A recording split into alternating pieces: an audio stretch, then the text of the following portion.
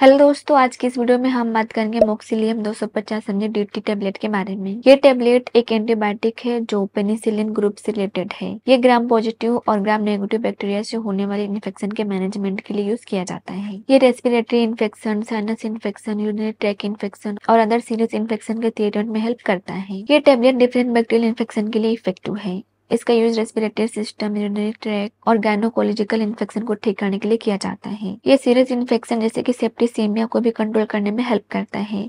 इसे डॉक्टर द्वारा प्रेस्क्राइब किया गया डोज और ड्यूरेशन में लेना इम्पोर्टेंट है, ताकि इन्फेक्शन पूरी तरह से ठीक हो सके। इस मेडिसिन का यूज़ सेवियर ईयर नोज़ और थ्रोट इन्फेक्शन वाले पेशेंट के लिए रिकमेंडेड नहीं किया जाता है। अगर आपको seizures meningeal disorders diarrhoea kidney या लीवर से रिलेटेड कोई प्रॉब्लम है तो इसे लेने से पहले डॉक्टर को ज़रूर इन्फॉर्म करें। इस टेबलेट को प्रेग्नेंट और ब्रेस्ट फीडिंग वुमेन में केवल तभी यूज़ किया जाता है, जब यह बिल्कुल इम्पोर्टेंट हो। और बच्चों में और बुज़ुर्गों में इसका यूज़ सावधानी से किया जाना चाहिए।